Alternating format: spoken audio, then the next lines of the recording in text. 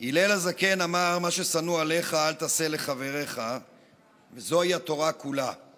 בחבריך הכוונה אינה רק לחבר, אלא לכל זולת באשר הוא, לכל אדם.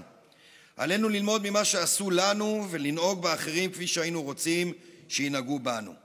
נושאי שם היהדות לשווא, אלה שבפיהם תפילה וברכה ובליבם ומעשיהם שנאה וקנאות, הקימו ממשלות ההולכות ומתעמרות בעם הפלסטיני שוב ושוב, כאילו לא ידעו היהודים עצמם אלימות ופרעות גזעניות. שורש כל רע היה בנכבה, גירוש המוני, הרג, אלימות. אך גם מאז שלטון צבאי, נישול מהאדמות, אפליה בכל תחומי החיים, גזענות אלימה.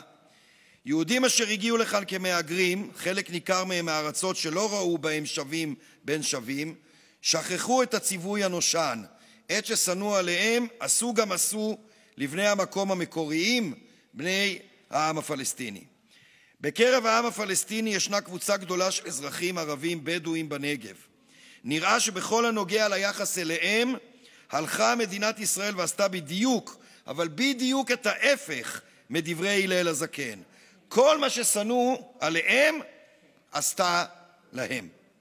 שנים עברו מהנכבה, ממשלות התחלפו, אך היישובים הערבים הבדואיים בנגב הושארו מאחור.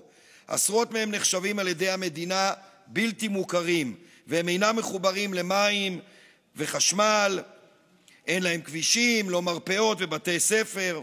תחת ממשלות נתניהו הם סובלים עוד יותר מפינויים אלימים שוב ושוב ומגזל רכושם המועט בידי השלטונות. אפילו בתקופת הקורונה הקשה גורמים מטעם המדינה באו והרסו גידולים חקלאיים. בולט בשטח הכפר אל-עראקיב, שנהרס על ידי המדינה קרוב ל-200 פעמים, ומציין ממש היום עשור להריסות האלימות. אנשי הכפר האמיצים לא מתכוונים לוותר. לא הם באו להתיישב, להתיישב על אדמות מדינה, אלא המדינה באה, התיישבה על אדמותיהם וגירשה אותם.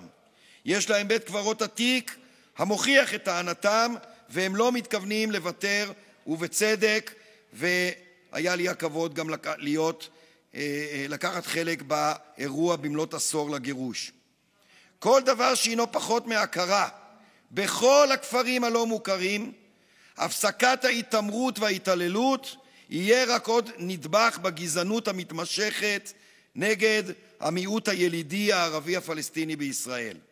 ההתעללות בערביי הנגב איננה הביטוי היחיד לגזענות ממשלות ישראל לדורותיהן, ובעיקר של זו הנוכחית, אבל היא חלק מאוד משמעותי ממנה.